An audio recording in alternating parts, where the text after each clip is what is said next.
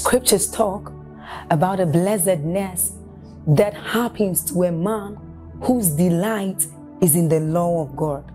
So, as 1 says, it says, But his delight is in the law of God, and doth he meditate day and night.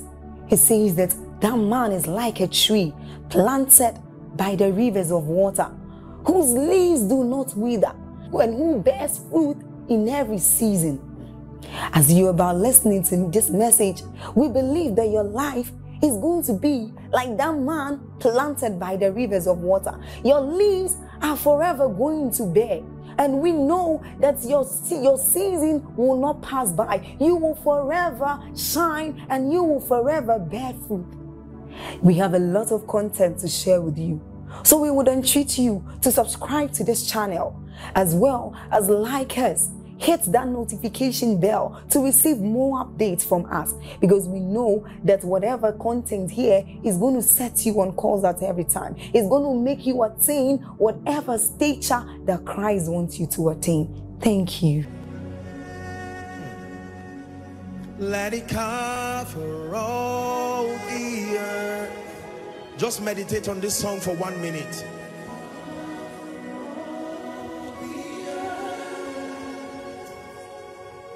Let it cover all the earth. Shaliba Sabarinde Ketusia. Like the Azusa Street Revival, like the Welsh Revival. We've read about many. It's time for us to be an extension of history. It's time for us to give life to prophecy.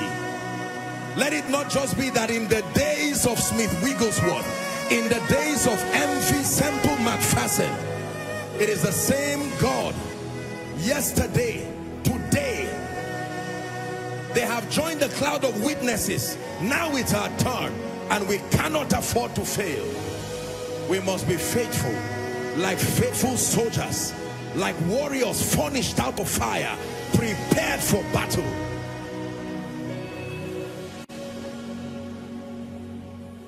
Let the weight of your glory fall.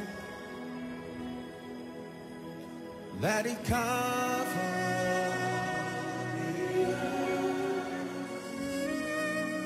Let the weight of your glory fall. Let it cover. Listen, ladies and gentlemen, there are only seven continents in this globe. There are not 19. There are not 30. There are only seven continents upon the earth. Seven continents that is made up of about 7.8 billion living people. Technology has provided us access to be able to take the gospel, the life and the power of Jesus. Can I tell you, when Jesus returns, he's not going to ask you whether you're a millionaire. No, that's not the question you will hear.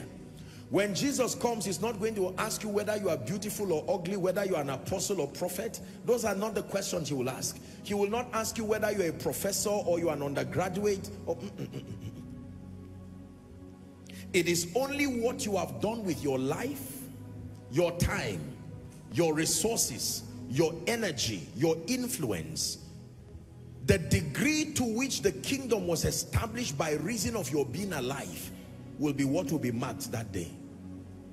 I'm saying this because there are many of us who flatter ourselves into believing that we are not called into the fivefold ministry and because of that we numb ourselves to the impulses of revival. Every time we hear and see the things that make for revival we disconnect ourselves and just wish those fanatical Christians well. It is an unfortunate orientation. When it has to do with kingdom come, it is everybody's business. Are we together?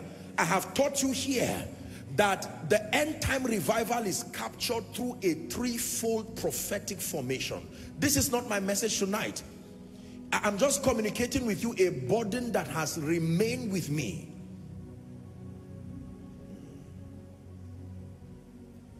That number one, the first formation of the end time army are the prophetic intercessors.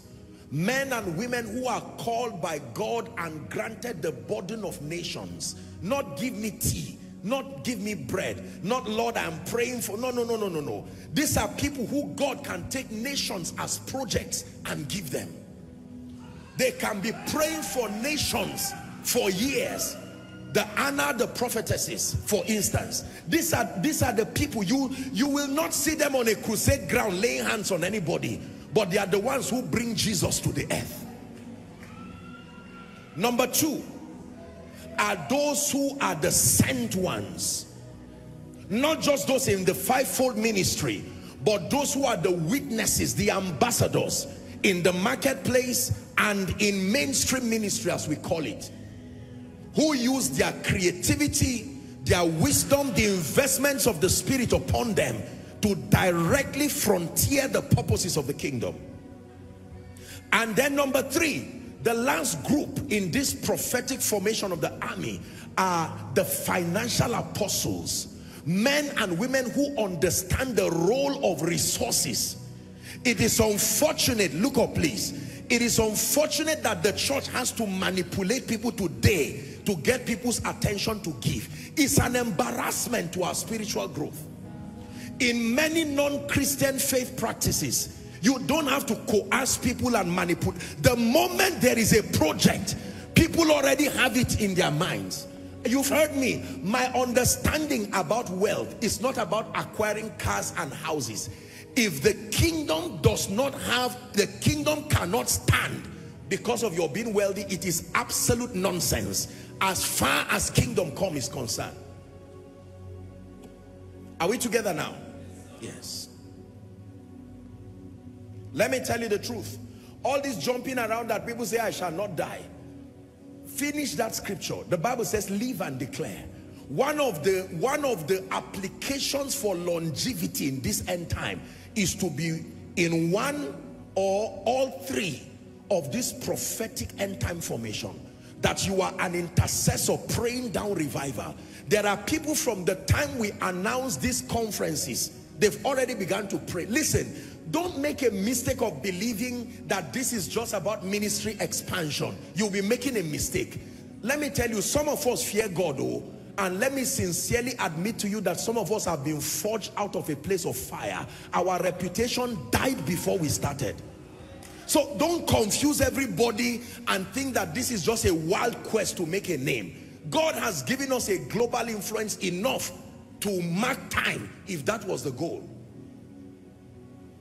This is, we have not taken a step out of the cave. Go to Europe and see what is happening to young people right now, respectfully speaking.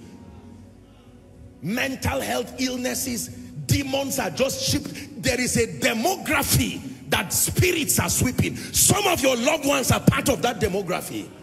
And if you keep quiet and fold your arms, mama, you don't want to be 60 and 70 and all the adults in your life are madmen because spirits were left unhindered. Not when we're alive. Mm -mm. Not when we're alive. So this is not just about koinonia. No, no, no, no, no, no, no, no. There are people who died before this project started. I have seen in my visions many times the cry of the spirit over Europe. There has to be a resurrection. Doing well in technology but dying spiritually. The God right now in many, many regions of the world is IT. And I do not downplay technology. But hear me, ladies and gentlemen, fire needs to return. Fire needs to return. Where are women like Deborah? You don't even hear them again. Secular humanism, all kinds of waste of time. Don't even talk about moral decadence. That one is, is already, is almost, Abba. Let it cover all the earth. Let it cover all the earth. Let it cover all Let it cover all the earth. One of the reasons why we're incorporating a session for pastors and leaders is because you see, When you study the spiritual history of a man, it can explain why people are powerful and some are not. I have met respectfully speaking, and I don't say this to brag in any way. It is with all honor and glory to God. I have met sincere men of God as I travel across the world who love Jesus Christ with all their heart. People of solid integrity and character, but no empowerment. This is a missing link on many pulpits.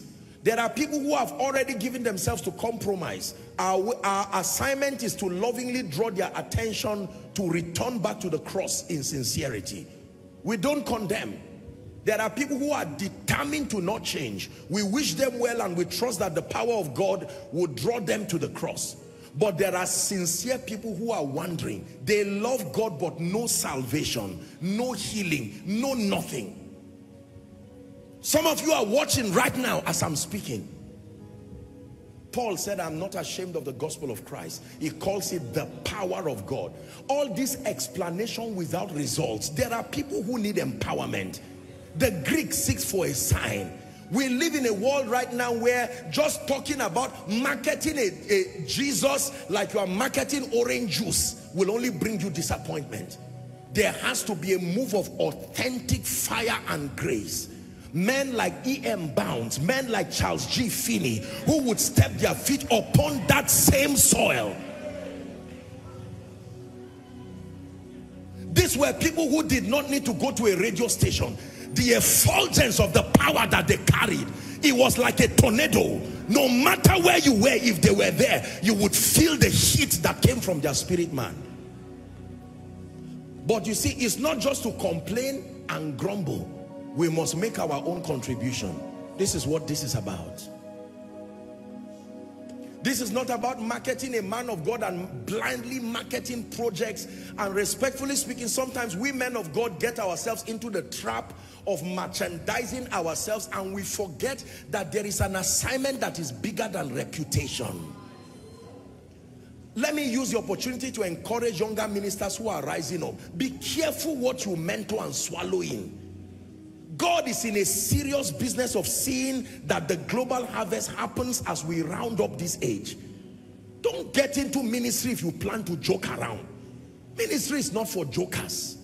Your heart must be with God. Not if you are looking for reputation, go and write a book. You don't need to get into ministry.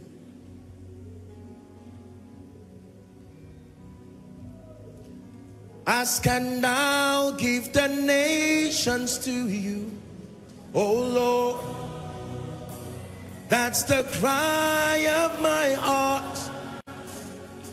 Distant shores and the islands will sing your life.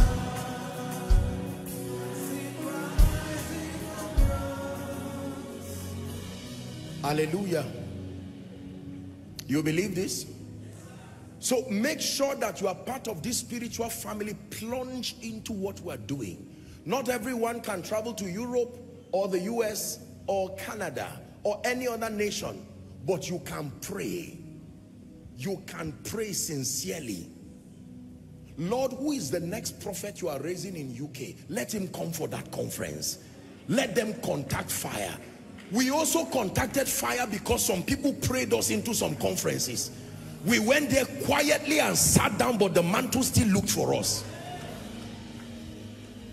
Are we together? Listen, listen. Smith Wigglesworth told Lester Sumrall, and he said, do not die with the mantle on your head. He said, when you are old, find young men. Everybody will not be misbehaving. There will be disciplined young people who are worthy of your impartation. Find them, he says. When you find those young people, he said, transfer this grace. Don't die with it in your grave. The dishonor of many young people is the reason why fathers are dying with their anointings. It, they feel it is safer in the grave than on the head of a stubborn, arrogant person. That's the reason why we must trust God for grace to be humble. So that these fathers of faith, some of them are already seeing the formation of the cloud of witnesses coming to receive them. That they will not just live with their mantles and live a generation bankrupt of grace because of pride. This is not my message. Oh. This is announcement. Everything I'm saying is announcement. I'm announcing the UK conference. Hallelujah.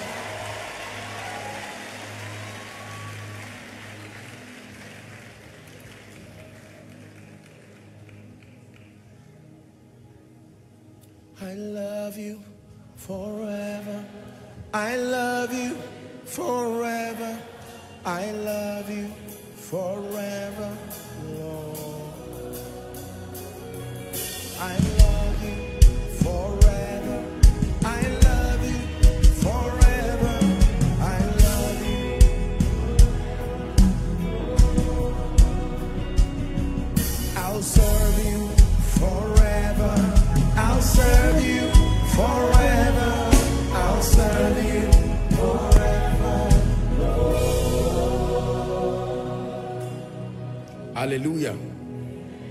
Praise the name of the Lord.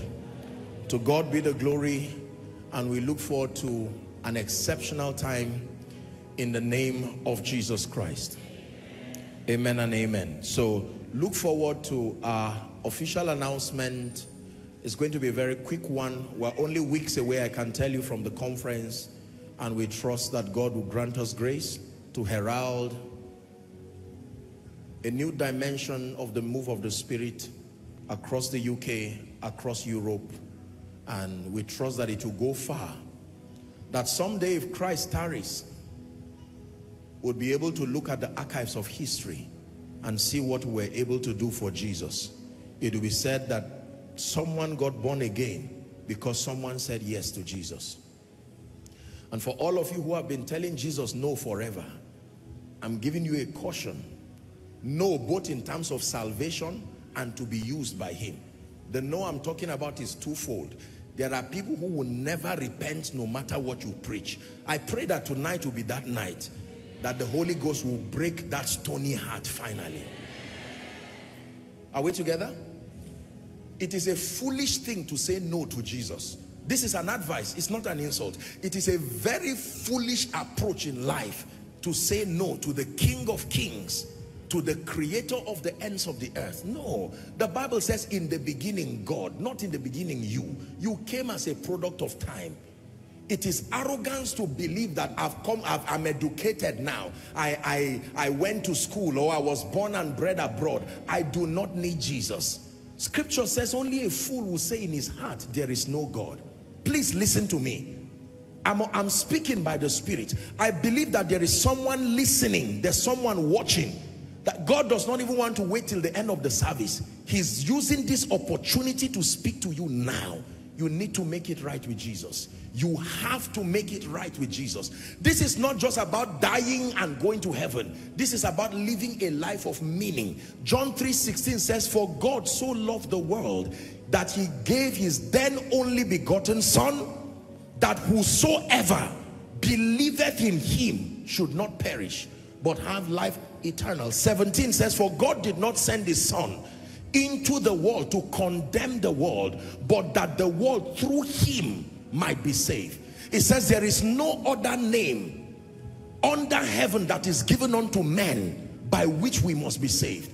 Joshua Selman's name cannot save you. We are only ushers that lead you to the cross. Are we together? Everybody in hell today is a believer. The only thing is that they believe too late. Someday, Anyone who has rejected Jesus and continues to reject Jesus will have an opportunity to believe. Unfortunately, there is timing to salvation. The gates of salvation will not be open indefinitely and forever. A glorious morning will come when it might become too late. It is for this reason that Jesus gave us the Holy Spirit. And he said when he, the Spirit of truth is come, he says he will convict you. He will reprove the world of three things, of sin, of righteousness, and of judgment, he says. So for someone, you came to church, you just came as a well-wisher. Let me come and see what is happening in Koinonia. Or maybe you went to a family where they are connecting or you passed and saw a projector somewhere and people are just watching. The Lord allowed that so that you will hear this. This may be your message tonight that he's calling you genuinely to make it right with Jesus. He says, he that denies me before men, I will deny before my Father and his holy angels. A day will come, you will wake up in the morning and it will not be your office you're on your way going to again. A day will get, you wake up and it will not be koinonia you are coming to again. When this life is folded like a curtain, the only thing that matters is your stand with God. I think I should finish this evangelical message and do an altar call right now. I'm almost there. Praise the name of the Lord. Now listen very carefully.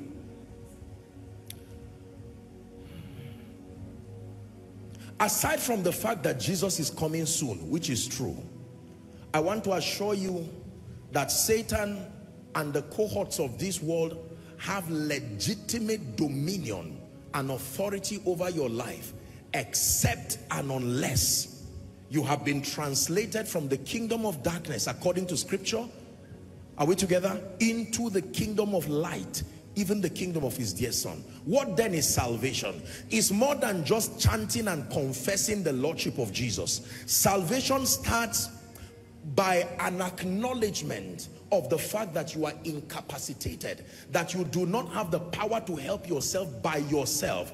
The Bible clearly tells us that if we say we do not have any sin, we deceive ourselves and that the truth is not in us. But that if we confess our sins, that God is faithful and just to forgive us of our sins and to cleanse us from all unrighteousness. This is what the Bible says. The conclusion over all men is that all have sinned and fallen short of the glory of God.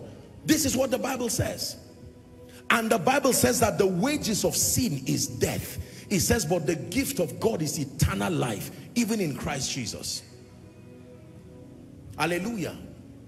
The assignment of a believer or the assignment of one who is in need of salvation is to believe the gospel. What is the gospel? That the Father loved you so much, he gave Jesus as a mediator to be able to come and die for your sins, the penalty, the condition for having the life of God and being saved from eternal damnation is that you must have righteousness equal to that of Jesus. And by the works of the law and the works of the flesh, no man is able to attain unto that status of righteousness. So Jesus came and through the exchange of his death, burial and resurrection, he's granted us access to his righteousness. The Bible says Christ has redeemed us from the curse of the law, being made a curse for us, for it is written, cursed is every man that hangeth on a tree, that the blessings of Abraham might come upon the Gentiles, to the end that we might receive the promise of the Spirit through faith. This is the Bible. What is your responsibility now? Is found in Romans chapter 10 from verse 9. What saith you? That the word is near your in your heart and in your mouth. That if you confess with your mouth the Lord Jesus and believe in your heart that God raised him from the dead, it says, thou shalt be saved. The law is in verse 10. It says, for with the heart man believes unto righteousness, and with the mouth confession is made unto salvation. Let me give you an opportunity right now. Let's do the altar call before we preach. You know, those days, when people got born again, because of the fire that came from the sermon, you would see people broken to their spirits. But right now, you make a lot of altar call and you see others interrupting others on stage from even getting born again. They come on stage and all they are doing is carrying their phone. They want to snap the cloth the man of God is wearing. That's why we men of God must go back and receive genuine apostolic fire. Something is wrong with these games we keep playing. I'm saying it again, and I'm saying it respectfully speaking. When people were born again, you could trust what happened to them. The power, the impact of what happened. So you would see 180 degrees transformation immediately for many. But God is helping us. So I'm going to make an altar call. You can sit down and assume you did not hear what I said. But the Holy Ghost has been speaking to you. Some of you are in this auditorium right now. Some of you are in all the overflows down to the basement, outside and numerous people following online. As I began to speak to you, the Holy Ghost told you this is it. He's shown you through dreams. He's shown you through visions. Do not wait until it is too late. Jesus is calling you. You have met the man of God. Now it's time for you to meet the Savior and the God of that man. Hallelujah. Praise the name of the Lord. I don't know why God decided to take this dimension. We just started talking about UK and now it is leading to someone's salvation. That is the way of the Spirit. John chapter 3 and verse 8. Jesus was speaking to Nicodemus and he said the wind bloweth where it listeth. You cannot tell where the sound, sound thereof, you cannot tell whence it cometh or where it's going. So is one that is born of the Spirit. Hallelujah. I'm going to make an altar call and count one to five wherever you are don't wait for anybody to be the first. You came to church. You may be old. You may be young. You may be educated uneducated rich poor with all the love in my heart and every sense of seriousness. As far as your eternal destiny is concerned i want to make this call let your eyes look straight on Jesus and I want you to run and come and stand here as I count one to five. Don't sit back when you know your ways are not right with Jesus. One.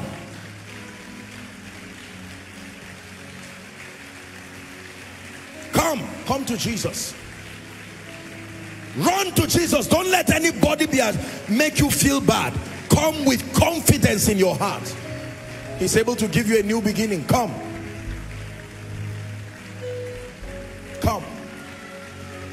I'm withholding nothing. Withholding nothing. I'm withholding nothing. Come, come. Let's celebrate them as they come.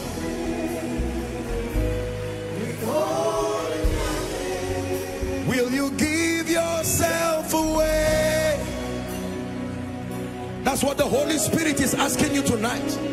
Will you give yourself away so he can use you?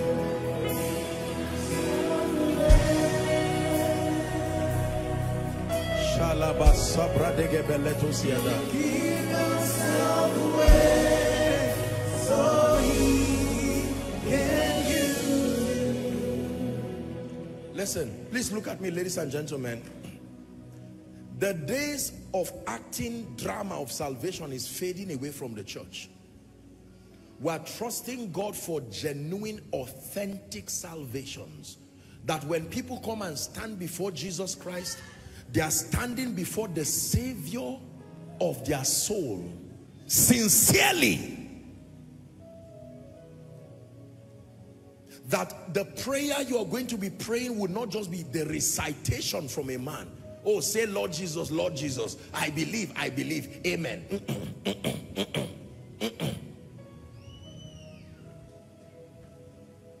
Genuine and sincere salvation. Look at my beautiful daughter. Look at this little girl. Can you imagine coming to stand for Jesus? Whether she knows what she's doing or not, that is the safest place for her to be. Hallelujah. I salute every one of you, my brothers and sisters, for making this noble call. You see, this is your family. When you come to make this, to honor this clarion call, don't see it as though you're on your way to a funeral. No. You are about to receive the greatest gift that can be given to any man under heaven. Not a thing, a person, Jesus himself. Hallelujah. If I pray for you for healing, I prophesy upon your life or I pray for prosperity, I only gave you things. But when you have him, hmm, and I,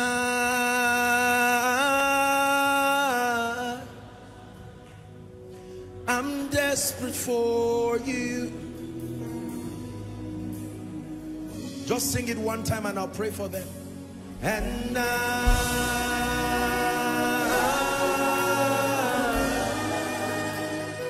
I'm lost without you.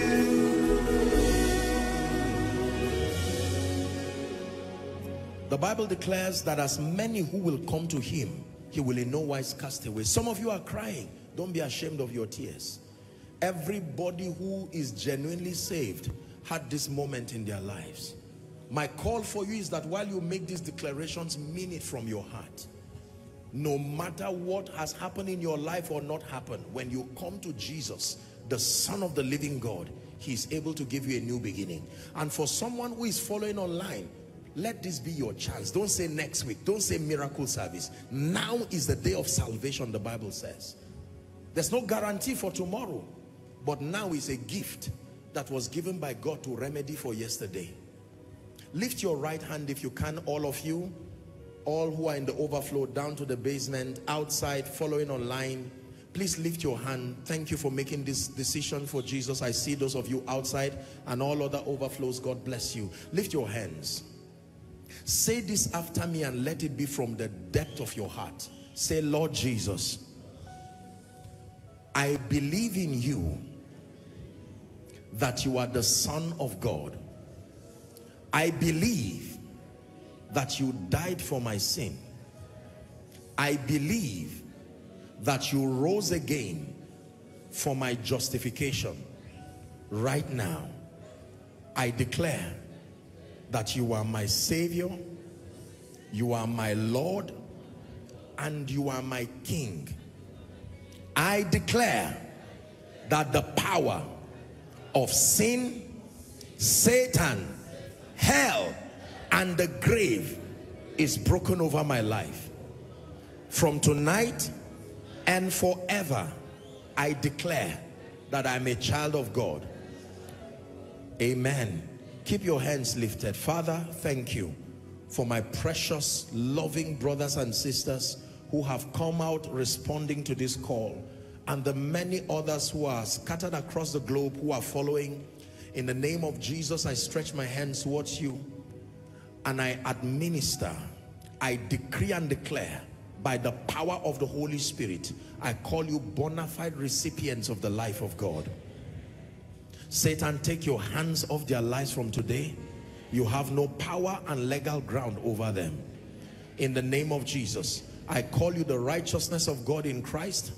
And in the name of Jesus, you are also recipients of the abundance of grace, even the gift of righteousness, and you reign in life. I declare that you go forward ever and backward never. In the name of Jesus. There are two of you here. I just saw spirits appear. And the Lord is saying I should get them out of you. You heard their confessions of faith and I command out of them now. In the name of Jesus Christ. This is the power of the gospel. Hallelujah. So I congratulate all of you in the name of Jesus, the Son of the living God. For those under the anointing, that's all right. When they are fine, we can pick them. Ushers, well done. God bless you. Let me request that you please look to your left, which will be my right. There will be a group of people there and by the way, Zaria is connecting, our Zaria family is connected. I, I want to believe that there are people who have also made that decision right now. And so counselors, please manage them. All of you, may I request that you please move to my right, which will be your left. You will have a minute or two with the counselors and I promise you, you'll be back to your seat. Those under the anointing, just hold them gently. Let's handle them carefully. Let's give Jesus a big hand clap for salvation.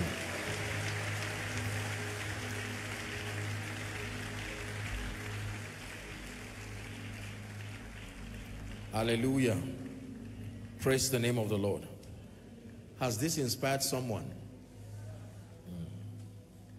We thank the Lord. The price for every soul is the blood of Jesus. Every soul. Every one of these precious people is equal the blood of Jesus. And we thank the Lord. And for all of you who invited them to church, may God honor you. The Bible says in Daniel chapter 12 and verse 3, it says that they that be wise shall shine as the brightness of the firmament and they that turn many to righteousness as the stars forever and ever scripture says that he that winneth souls is wise not just he that makes wise decisions he that winneth souls is wise may God help us in the name of Jesus I've taken from my time so it's my intention again to see how we make progress. I was impressed with the help of God over us last week. And let's see how we obtain that help today again in Jesus' name. It's not a promise, it's a commitment. Hallelujah. Praise the name of the Lord. I'm teaching tonight very briefly now because um, it is the assignment of the apostolic and the prophetic to equip God's people um, per time, per season to give wisdom on how to be able to navigate the times. And one of the things that you receive here is not just doctrine, but spiritual intelligence. Are we together? Doctrine comes from the word doctrina. It means a preset body of truth that turns a student to be knowledgeable. And there are several doctrines in the Bible. Foundationally, there are about six of them according to Hebrews chapter 6. And when you exhaust those doctrines, you can now move into perfection where you now begin to deal with other weightier matters of the spirit. And the Lord stirred it in my heart since last week to be to teach on what I'm about to teach on. It is, it is my desire and prayer tonight that by this teaching, the Lord will quicken our discernment and that he's going to help us to be more circumspect and more accurate as far as our spiritual adventure is concerned. If you believe that with me, shout a loud amen. amen. Hallelujah. First Chronicles chapter 12 and verse 32. First Chronicles chapter 12 and verse 32. I want to teach tonight on the subject that I titled The Tribe of Issachar. Give us amplified. The tribe of Issachar. This is a teaching that is going to work upon our discernment and help us to be people of stature in the spirit. And I want you to please follow along. We're going to do a lot of prayers intermittently and then after the teaching, glad we've taken the altar call so we have some time to press a bit. It says, and of Issachar, men who had understanding of the times to know what Israel ought to do. It says 200 chiefs and their kinsmen were under their command. Let's go back to KJV. Father, grant us grace even by your spirit in the name of Jesus. The Bible talks about a very strange tribe. It calls it the sons of Issachar. And then the Bible tells us three things about this man that become prophetic lessons for us to learn as we seek to mature in spiritual things. The Bible says there were men that had understanding of the times. Very incredible credential that they were men that had understanding not just of things, but they had understanding of times. And then the Bible says that there were people who did not only have understanding of the times, they knew what Israel ought to do as per those times and seasons. And the Bible says the heads of them were 200 and as a result of their understanding of the times and the knowledge of what to do, the Bible says all their brethren were at their commandment. Hallelujah. Praise the name of the Lord. One of the dominion systems in this kingdom and especially as it concerns living in the cosmos is the ability to understand the ways of the spirit to have spiritual intelligence enough to be able to discern times and to discern seasons there are many people whose lives ministries businesses right now have crash landed simply because they did not have the spiritual intelligence to understand and to interpret times. Hallelujah. I have said it many times and it bears repeating again that God is a God of times and seasons. Please write it down. in the dealing of God with man, he's fragmented his dealings to work with the law of times and seasons. Times and seasons. Times and seasons. That means everything under heaven functions as a product of time and seasons. We have in Nigeria here what we call the rainy season. We have the dry season, the two main seasons. Across the globe, they have all kinds of seasons, autumn, spring, summer, winter, you know, and, and there are many things that happen across those seasons. A good farmer takes advantage of the seasons for the productivity of his crops or animals. There are seasons that naturally come with certain advantages. Hallelujah. Now the Bible says that among the many things that could be said of these sons of Issachar, the men of this tribe, is that number one, please write it down, that they were men who understood the times they had an understanding not as an individual can you imagine as a corporate people that there was a structure within their tribe that helped them to understand times. So the first thing we see about this tribe of Issachar is that there were men who had understanding of times. They knew how to maximize times and seasons because they understood the times. Number two, the Bible says to know what Israel ought to do. So it's one thing to understand the times, but to be able to draw out a strategy that becomes an advantage within that time. That is the second thing that they had. The Bible says to know. They had knowledge, they had strategy to know what Israel ought to do. So they had an understanding of the times. Number two, they knew what Israel ought to do. And the Bible says as a result, there was dominion. Dominion. Their brethren had to be at their command for direction. Give us Genesis chapter 1 and verse 14, please. This is the creation story. And the Bible tells us in Genesis chapter 1 and verse 14 that God said, let there be light in the firmament of the heavens to divide the day from the night. Please pay attention.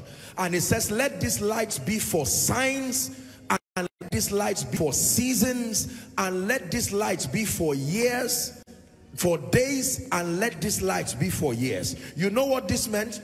Let me tell you this. I've read this for I don't know how long, but the Lord opened my eyes and Notice that timing was fragmented into day and night and then signs, seasons, days, years. And the Bible says for every one of them, there is a kind of light that signifies when it is day.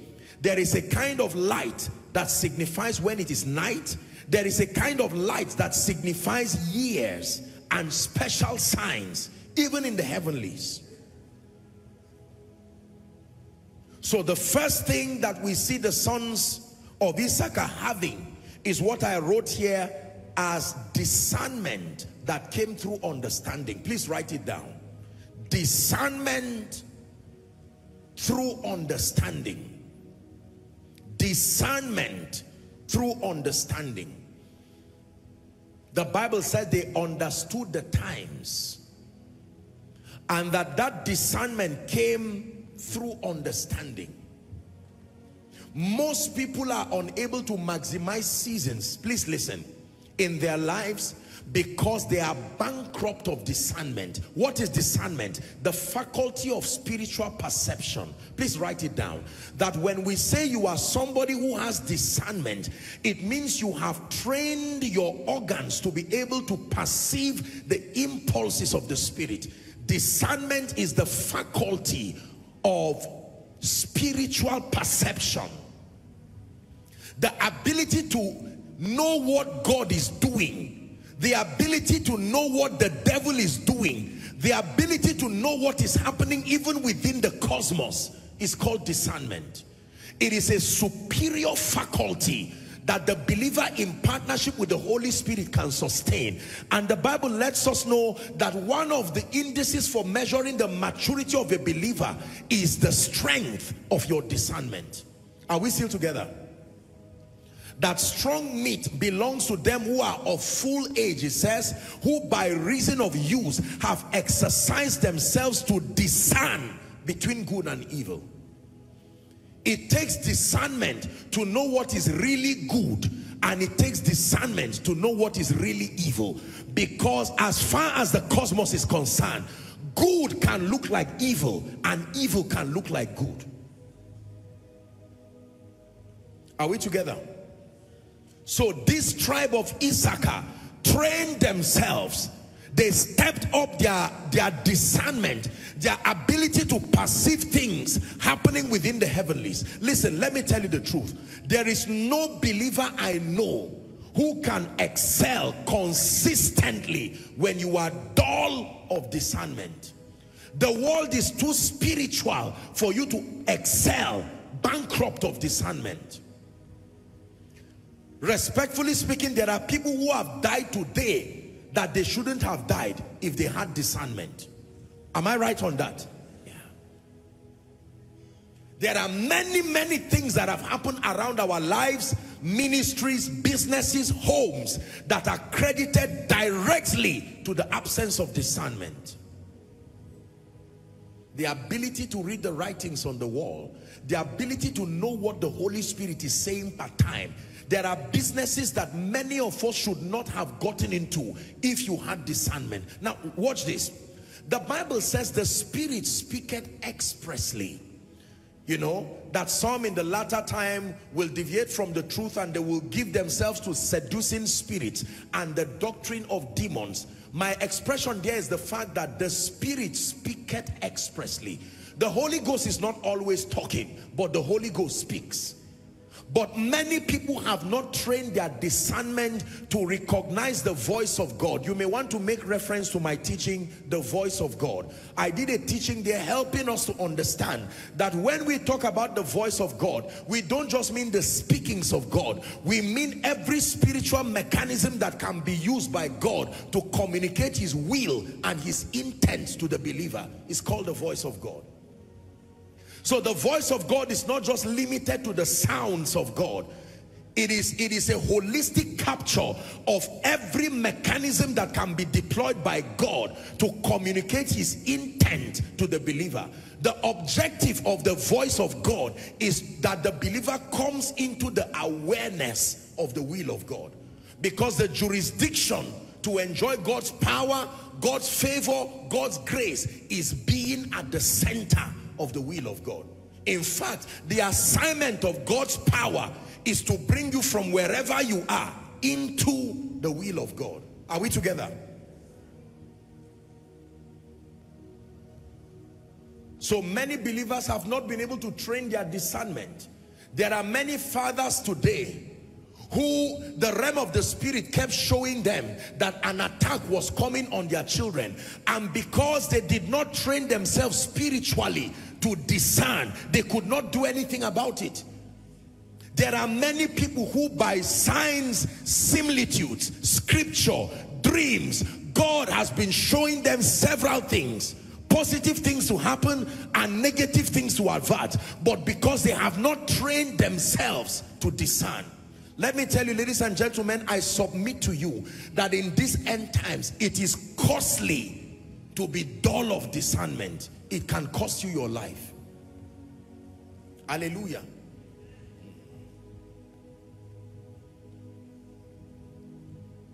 Jesus looks at Nathanael, a man who just finished insulting him can anything good come out of Nazareth? And he looks at Nathanael and here's what he says. An Israelite indeed in whom there is no guile. It takes discernment to speak like that. Jesus looks at the man called Peter And even though he saw a spirit behind Peter, he said, get thee behind me, Satan. And he said, Peter, Satan has desired to sift you like wheat. In other words, there is nothing wrong with you as a person. Your compassion and your good heart is an advantage for the kingdom. But I need to separate you from this ugly spirit that is trying to destroy you. Discernment. In the book of Acts, the Bible talks about the apostles. Paul. Are we together now? Yes. How that a damsel came and met them and this damsel was using divination and bringing money and gains for her people. And when she saw them, she began to preach that these are the men of God who have brought glad tidings. You find that in Acts chapter 16. The first 24 verses talk about the, the Bible says this happened for many days. And one time he got angry, angry in his spirit. Are we together now? And he looked at her, Paul now, being grieved in his spirit. He commanded that spirit to come out of her. That's how they landed in the prison that they used praise and worship to come out of. This was what got them there. Hallelujah. Many people are dull of discernment. There are some of us who never seem to get free from trouble you walk headlong into trouble. Every scheming of darkness against you walks because there is no discernment. When the Holy Ghost is saying pray, you are not even sure he's the one speaking. And quite honestly, you don't care until you land into trouble. There are many people about to start journeys that the Holy Spirit keeps pointing to them. It does not have to be a journey that ends you in danger. We are talking with respect to the will of God, not good or bad. There are many things that you will arrive well and yet you are already dead. Once it is not the will of God, you are still in trouble. So you, we don't rate life based on good or bad. We rate life based on the will of God or outside of the will of God. There are many, if the devil wants to destroy you, he will schedule many good things to happen in your life that are outside the will of God. Are we together? For instance, giving you a visa when is the will of God for you to be in Nigeria? Now, that may not be an evil thing, sociologically speaking, but you will travel not only out of the will of God, out of your destiny, out of so many things. Why didn't God stop Jonah from entering the boat?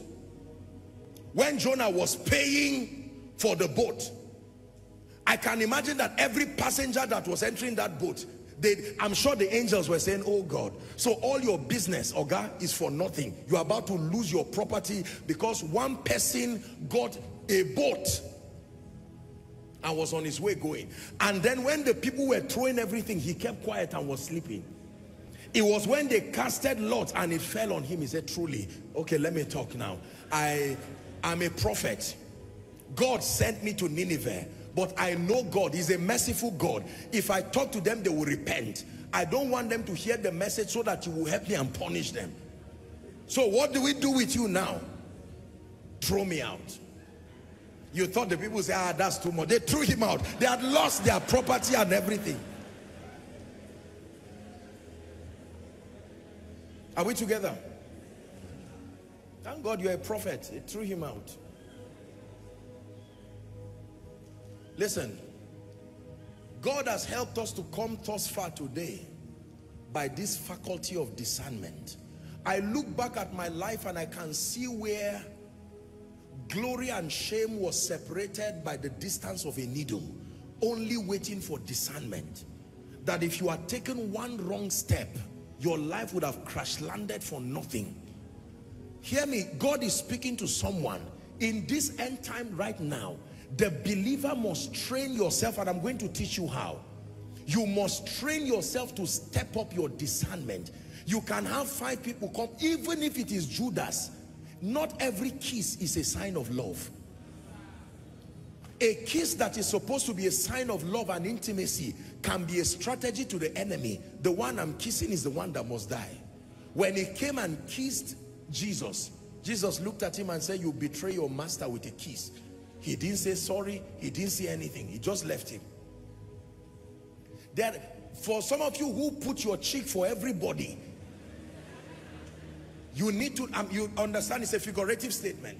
Some of us are so fragile emotionally that even when the devil brings his mouth near you, you just believe that every sign of a kiss means love. No, sir. No, sir. No, sir.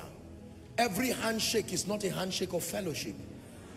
There are handshakes that are that there are signals of deception. Every prophecy is not prophecy that edifies you. No matter how it sounds, it is the ministry of the spirit behind it. It is not everything that glitters that is gold. Are we together now? Say discernment. Please shout it. Say discernment.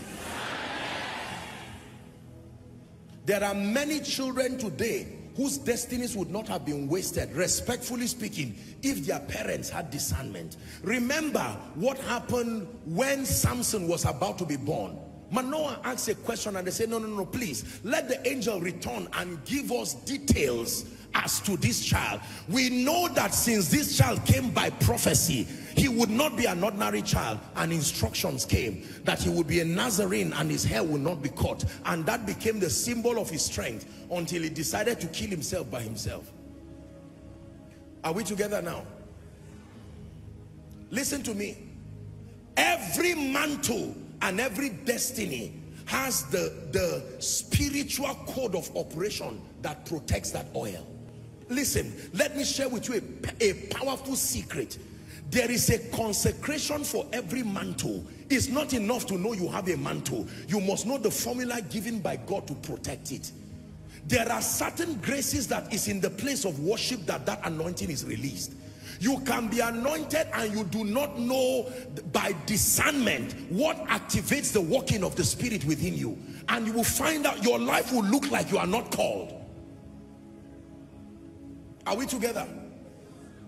There are people because of the kind of destiny you have. For you, the formula God gives you is every time you want to see a miracle, hold hands with your husband or your wife and agree. That is it. No matter what deception once two of you hold your hands and pray the truth must come out. It may not be a formula for everybody but by discernment you can step into what becomes your secret code of operation. Unbelievers know this but many many believers are bankrupt when it was time for the prophet to prophesy he did not feel like prophesying. He said bring me a minstrel and as soon as they began to pray minstrel the bible said the hand of the lord he didn't say the hand of the lord was coming anyway.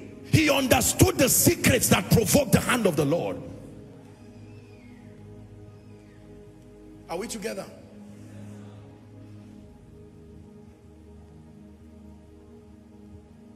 Those who lack discernment in this end time, ladies and gentlemen, whether as men of God, whether as business people, one operation of the spirit of discernment can be the difference between victory or defeat in the life of a believer. Some of you are about to get into businesses right now that will make you cry from March till December. You've not had discernment. You don't care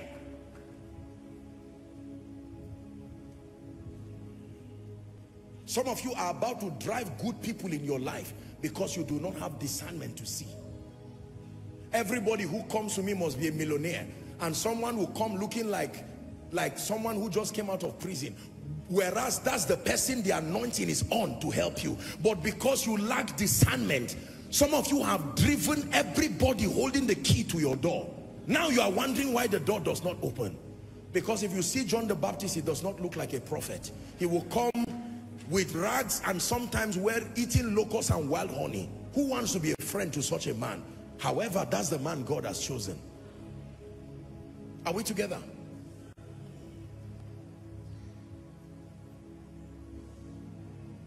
I remember when God started speaking about coming to Abuja, I've shared with you that story to help you. It took three years of wrestle, wrestle, before that time, I could be having a program somewhere. I would travel into Zaria, arrive around 5.36, go and have a meeting, and then by the next day, I'm out of the way again. But when it began to come, I said, ah, God, what is this one again? I struggled with the spirit verifying and re-verifying and re-verifying. When God finally gave me the verification, I went with my eyes closed. Listen, let me tell you the truth. For some of you, God is speaking to you right now. You are taking too many careless destiny steps and ignoring discernment. The mercy of God has been shielding you, but I don't know who I'm speaking to. You need to mark time. Speed is not the same as rushing. Listen, do you know that speed is a function of clarity of direction or clarity of destination? If you are looking for a house, say you enter a close or an avenue, once you don't know the house, you slow down. Is that true? So that you don't pass it not knowing. And then you honestly ask questions. You can now ask someone, sorry, where is the birthday celebration happening? Oh, turn left, right. You see that blue car? That's the house. The moment the direction is clear, there's no limitation to speed again. There are many of you, you have not gotten direction for ministry yet. There are many gray areas around your life and yet you are running. For you, a prophetic word tonight is you need to slow down because the distance you will need to turn back on, it may be too far. You are already running, speed in the wrong direction is adding burden to yourself. Is someone getting what I'm saying now? Discernment. Who told you it's God's will for you to be in UK? Who told you it's God's will for you to be in Abuja? I've told you, ladies and gentlemen, please hear me. Greener pasture is not a physical location. Greener pasture is where the voice of God is for you. There are people suffering in every nation, including our dear nation. It is not a physical location that this, that that that um, that that spells out your prosperity, but where the voice of the Lord is. He said, "The Lord is my shepherd; I shall not want." And Isaac sowed in that land. Hallelujah. Our fathers of old, some of them were not very educated, but they would never do anything until they verify. The subject of God said was strong in their generation. God has not spoken to me, oh, thank you for what you have said, but let me inquire of the Lord. It is the reason why they had, they had tremendous success with their lives. Our generation now respectfully is so scientific. We say wisdom is profitable to direct and our wisdom is Sophia, not divine wisdom. It has been landing us in all kinds of trouble. God is speaking to someone. You want to follow the order of that tribe of Issachar. You must slow down in your life and be sure of the voice of God before you take steps in your life and destiny. Is someone listening to what I'm saying? Man of God, don't assume it is time to start church. What makes you think you should start church? All my contemporaries, even sons that I raised in ministry, they are in ministry. So what? Anna the prophetess, how many people do you think she raised? And yet she remained in the temple. Ah, may you never go where God is not. Oh. I'm praying for you. May you never go where God is not. Hallelujah. Moses said, do not let us depart from here. If your presence will not go with us. You see, let me tell you, life will propose so many wonderful things. They don't have to be evil, I repeat. The journey of discernment is not about good and bad alone. Please hear me. Let me repeat it again. The journey of discernment is not about good or bad alone. It's about being in the will of God. Lack of discernment will lead you to many good things that will end up becoming a burden to your destiny because they are not luggages that were allocated for you to carry. Your flight will be impeded because you have carried all kinds of things. Hallelujah. I believe in common sense. I'm not a fool. But I believe in the voice of God. I'm also not a fool. Are we together? Common sense has landed people in trouble. The oldest man on earth today is not more than 120 years. I'm, I'm not sure. The highest I saw was 141 along the road to Ekiti, who just died. But I don't know Guinness Book of Record or what, what's that, that thing. I don't know who they have as the world oldest person. But let me tell you the truth. This scripture is old and the Spirit of God is, he was there when creation began. Trust in the Lord with all your heart. Proverbs chapter 3 and verse 5. It says, lean not on your own understanding.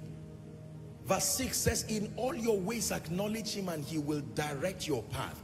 7 says, be not wise in your own understanding. It says, fear the Lord and turn away from evil. For there is a way that seemeth right unto a man, the Bible declares. It says, but the end thereof are the ways of death. There are many people who have no business being poor today. Their problem was not intellectual bankruptcy. Their problem was that they do not sustain the ability to discern. In the days of Noah, whether you were a businessman, whether you were an architect, whether you were a politician, after 120 days you were going to die if you were not in the boat you are not in the ark. It's as simple as that. There are times and moments in history, ladies and gentlemen, where it is not about the wisdom of the wise. It is about the ability to discern the voice and the will of God. My prayer for myself and my prayer for this ministry all the time is that I find myself at the epicenter of the will of God. Now, let me tell you the truth there is a risk if you embrace the way of discernment. There will be a lot of disruption to what you call order in your life. If you are not willing to endure that disruption, then forget about a glorious life. Hmm. Are we together? Do you know what would have happened to Joseph? We never heard of Joseph and the exploits of his carpentry again. That man just received the burden of fathering Jesus to maturity and had to sacrifice a lot. But he knew that he was in the will of God. What of Mary? I'm sure as a young virgin, the girl just had a plan towards her life and destiny. Listen, I, I pray for our generation. May we not be too organized to the point that God cannot bring us now to fit the mold of his will for us. Let's be careful with this over dependence on intellect. I submit to you that when God started with us, this was not, let me tell you the truth. The way of the spiritual man is very, very strange. There are many times in the journey you don't even know where you are going to. You have to depend on the one leading you, not an assurance of where you are going. You trust the person more than the destination. Follow me is the mission. We live in a world today that is full of guarantees. Can you guarantee me that if something happens? No, sir. No, sir. No, sir.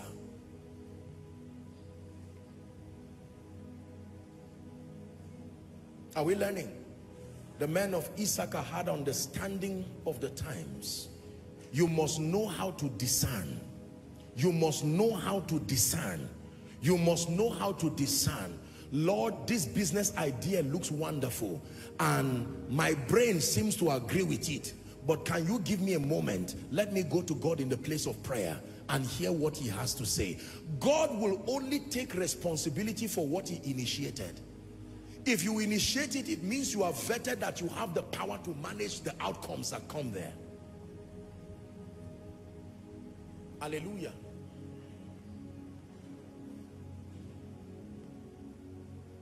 That is why we lack power in the body of Christ. It is not about physical strength. It is about discernment. More love. More power. More of you in my life. More love. More power. More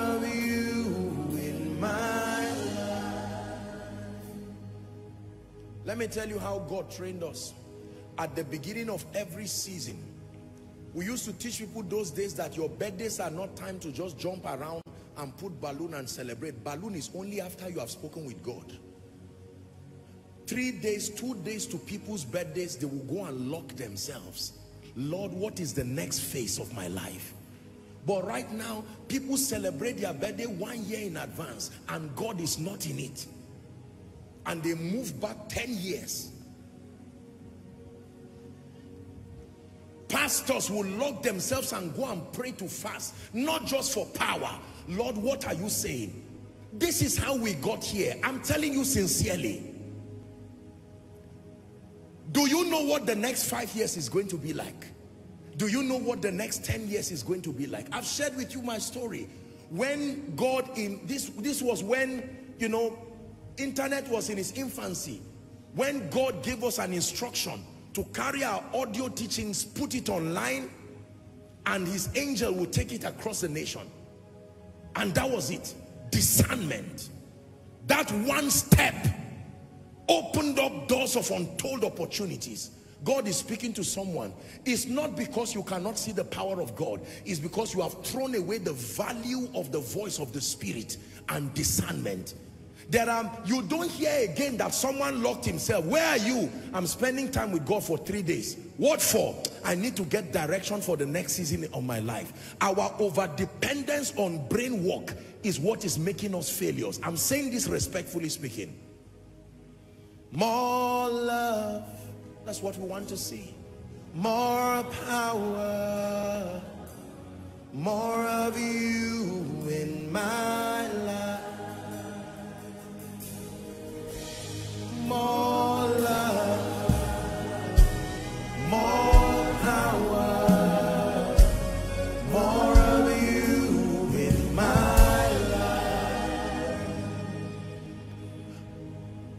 A year or two before we moved to Abuja, I remember when we started having so many visits from the US, a group of people came from US and they came, they went back with such zeal and transformation and they did not even tell me. They went to open an office for me in the US. And then they just announced as a good news that Apostle, just to let you know that we have opened an office for you. In fact, um, you can be sure right now that when you come to the US, there is an office, say breakthrough. No, no, I'm not being sarcastic. That's what most people will call it. What do you call that kind of favor? Remember, we are advocates of favor. But I said, thank you for that opportunity. Let me carry my good old childish principle that has worked so far. Lord, what are you saying? God did not even waste his time And answering. There, there is a way you walk with God, but as you are approaching him, you are, you are, your heart is so connected. God does not need to start wasting his time talking to you like an unbeliever. It's like a husband and a wife. There's a way a wife already knows the answer. Honey, she stops there. You already know what the answer is. You can grow into that level of intimacy with the Spirit. I hope you know what I'm saying now.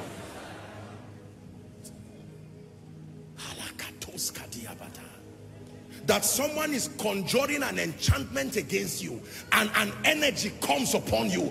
You wake up in the night, you can't explain what is it, but that no divination, no enchantment against you. Abba, sit down and just say, this person is no.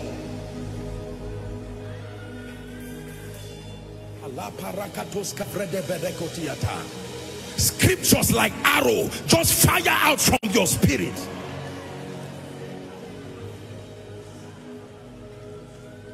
Is someone learning? Hear me. The order of Issachar is the survival pattern for the last days you need to master the art of spiritual perception. You must be so close to the holy ghost that you can you can perceive the impulses of the spirit. This looks like an open door but i don't know why there is a restraint in my spirit. Even though it's a great door please keep it open. Let me go back to god. God what do you have to say? And you stay there till he speaks you don't let your tiredness answer you on behalf of God. And you say, I've prayed for three hours.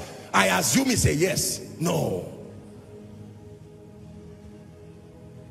Are we together? This was the secret of the, the valiancy of great men in the Bible. Should I pursue? They will go and inquire of God. Many non-Christians and diviners do that till today. They will never take any action, whether in business, in whatever, until they have an assurance from heaven. Let me tell you this. Some of us that you see that look like we are great, I confess to you, I'm speaking to the globe, it is not because of anything in ourselves. We have simply mastered the childishness of staying till his voice comes.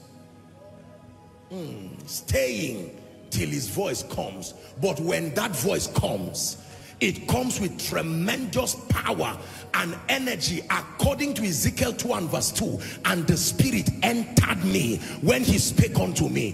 So you can find a man look so slow in destiny but in two months God will do something with that person that will cover up for 10 years. And you are wondering from whence came this energy? The energy came with the voice the energy came with the voice these are missions to UK you see and the US it was already on plan for a few years shared it with the leaders I'm sure they are used to me now once I say we'll do something and you hear me keep quiet about it just leave me and God like that I just kept quiet since God kept quiet. But when the word came, it came with energy. It came with power. Man of God, don't assume because everybody is doing conferences, you get up and go and do it. Don't assume because everybody is opening branches, you go and do it. I'm saying this respectfully speaking. Don't assume. No.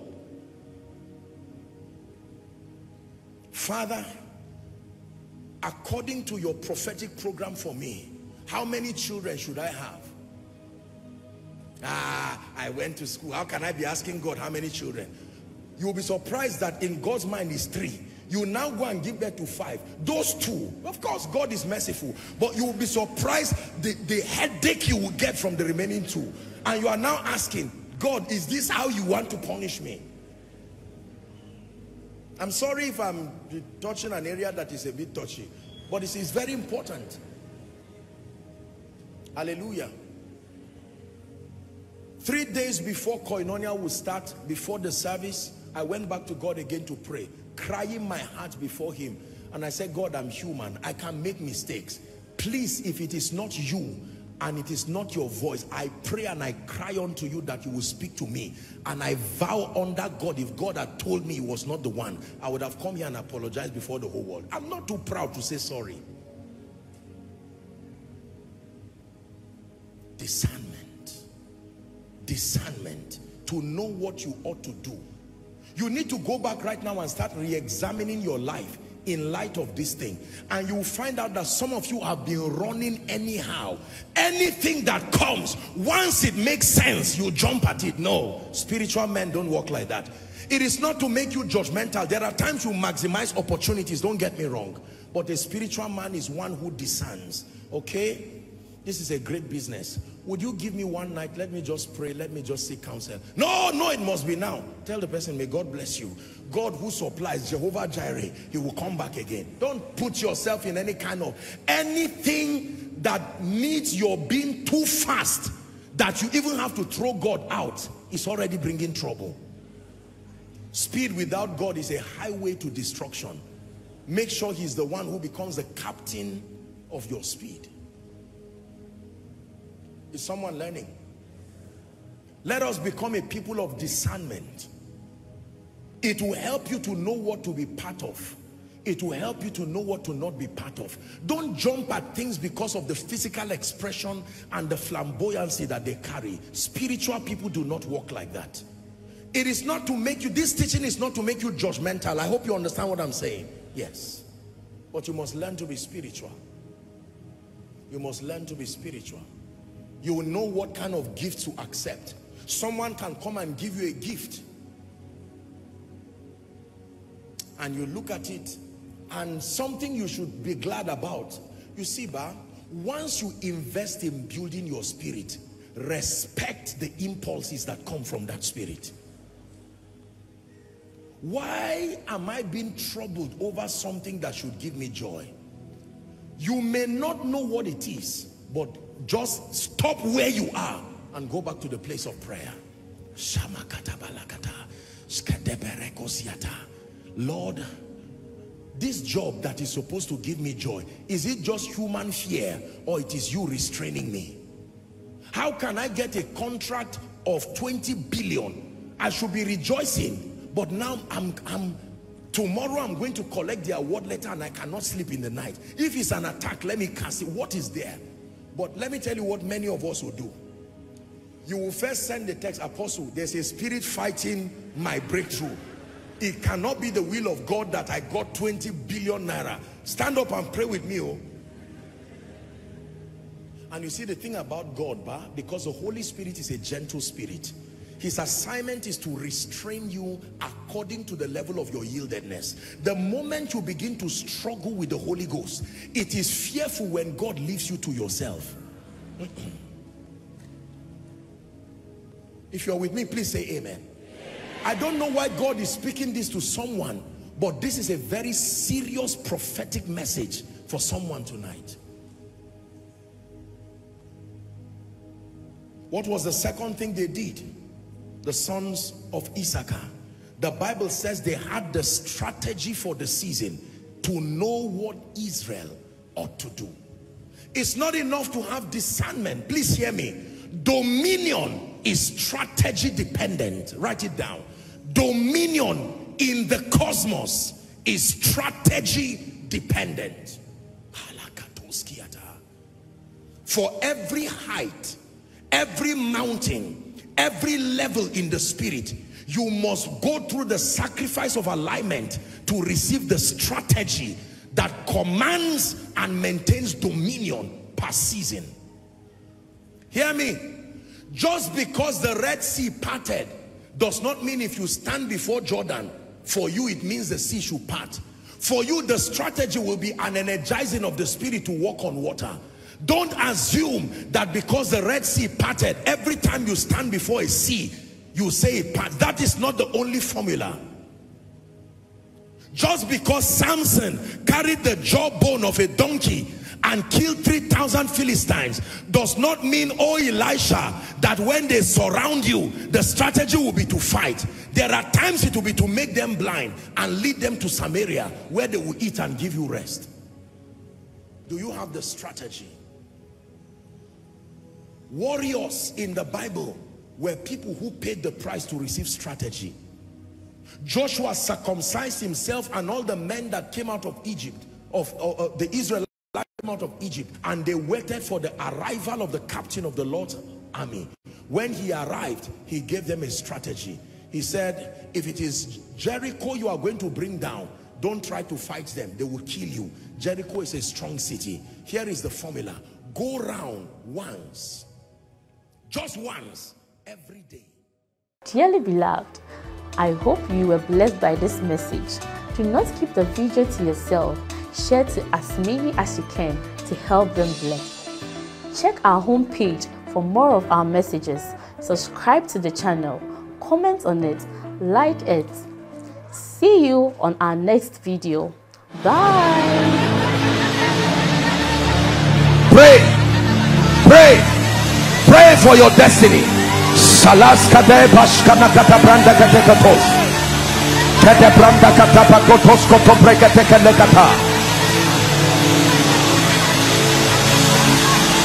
The phase of development. Lord, grant me the discipline